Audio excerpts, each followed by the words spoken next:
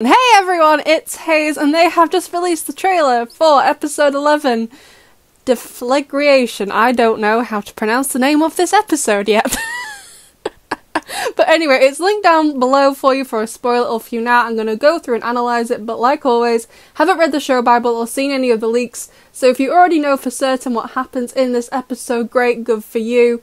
Don't worry, you don't need to tell me. Someone already emailed me all of the Google Drive links to every single leak that has been released, okay? If I want to know all the answers are in my email, I don't need it in the YouTube comments section. Thank you very much. So, let's go over this. So, obviously, this is part two to what we saw before, and that's what happened in transmission. Adrien and Marinette kind of got together slash quite not really. It was basically the beginnings of their relationship becoming more.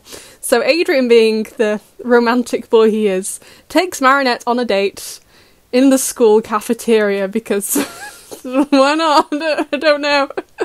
I've personally never been taken to a date in the school cafeteria, but you know, I like Adrien's imagination here. He probably can't take her out somewhere else, and this is an environment Marinette feels somewhat comfortable in, so I don't think it's that bad of an idea.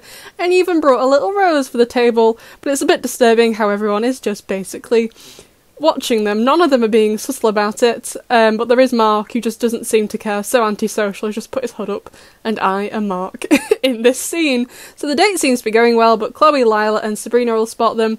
Obviously, Chloe isn't happy about this. The Marinette, being Marinette, falls out of her chair. I'm not sure why or what could have caused it, but that's Marinette for you. And Chloe takes the opportunity to come over and probably say something not very nice because the next thing we know, as Adrien helps Marinette up, Zoe is making her way over and she makes Chloe go and sit back down. And if we pause it, we can also see what I think is the miraculous on Zoe's finger, which looks like it's a blue and pink coloured band, which looks really pretty actually. I really like it, really goes with Zoe.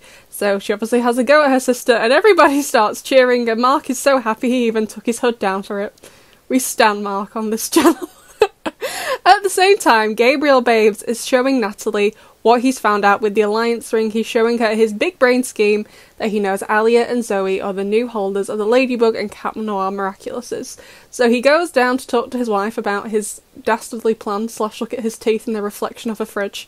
Uh, whilst upstairs, Nathalie's having a bit of a moral dilemma because, like, while she's probably like, yeah, I see we're pretty much like they're in our reach at the same time. Emilie didn't want this, as we saw from these videos in Passion, we now know for sure that Emilie didn't want this. But Gabriel Babes does not care, he's having the time of his life during his midlife crisis. He goes up to his lair, transforms, and he gets the powers of the bee, the mouse, the rooster, the ox, and the horse. Um, I'm not sure who he transfers them to though, I'm kind of thinking he may just be using them for himself to be honest, and he uses the horse miraculous to make a portal to go somewhere, I would assume maybe straight to straight to school because he knows the kids will be there. That's why I'm saying like he got the horse's power and then he immediately uses the horse. So part of me is wondering if he's using these powers for himself and he's not planning on akumatizing someone and giving them the powers. He's just like, yep, I know where the miraculous are.